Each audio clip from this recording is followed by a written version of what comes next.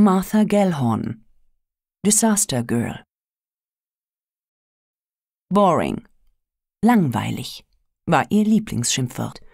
Hauptsache nicht öde, sonst durfte das Leben fast alles sein. Zur Hälfte, so ihre Maxime, sollte es aus Arbeit, dem Schreiben, bestehen, aufreibender wie lustvolle Arbeit, die sie stets an ihre Grenzen führte. Danach gierte sie geradezu. Ein Dasein in Muße schien ihr, als würde man Marshmallows oder Asche kauen oder beides zusammen. Und die andere Hälfte? Die hatte, so wild und aufregend und platzend vor Lachen und Lärm zu sein, wie die entfesselte Hölle. Am besten, wenn beide ein großes Ganzes ergaben. Dafür setzte sie immer wieder alles in Bewegung. Verschont mich mit eurer Güte, das ist etwas für kleine poplige Wesen, bekannte sie einmal trotzig ihrer ehemaligen Lehrerin. Ich will kein guter Mensch, ich will die Hölle auf Rädern sein, oder lieber tot. Nur ein Verrückter würde ein schmerzliches, gefährliches, unglückliches Dasein einem langweiligen vorziehen. Und so eine Verrückte bin ich. Als sie dies schrieb, war sie gerade 33, hatte ein Jahr zuvor Hemingway geheiratet und sich als Reporterin, die aufrüttelnd für amerikanische Magazine aus dem spanischen Bürgerkrieg berichtete, einen Namen gemacht. Damit setzte sie sich auf dem exklusivsten Männerterrain der Zeitungsbranche durch, in der mehr noch als unter Sportreportern nur ganze Kerle für voll genommen wurden, und zeigte ihren Kollegen, dass sie es an Mut mit jedem von ihnen aufnehmen konnte. Disaster Girl wurde ihr Spitzname. Das kämpferische Temperament brachte Martha Gellhorn als Erbteil aus ihrem Elternhaus mit.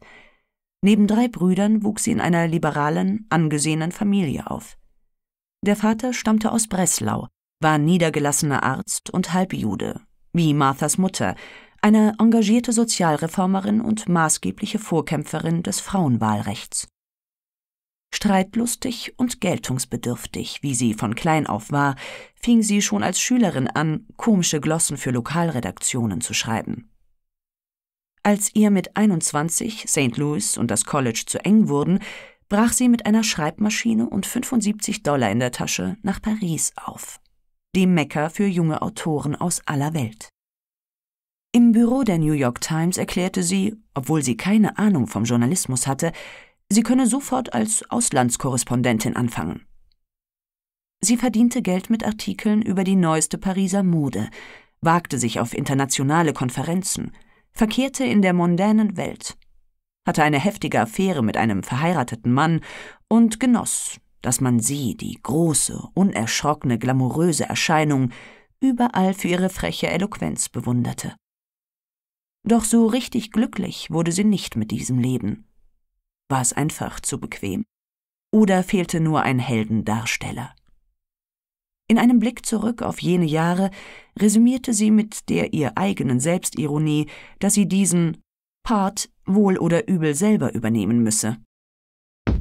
Sie hörten eine Hörprobe aus der Reihe Frauen, die gefährlich leben.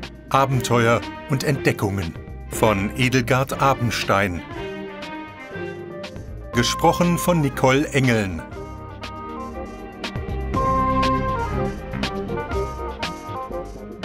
Weitere Informationen und Downloadmöglichkeiten zu diesem Hörbuch und dieser Hörbuchreihe mit Biografien außergewöhnlicher Frauen sowie dem Verlagsprogramm von CC Life finden Sie im Internet unter www.frauengenial.de sowie www.cclife.de. Viel Spaß beim Stöbern und Hören.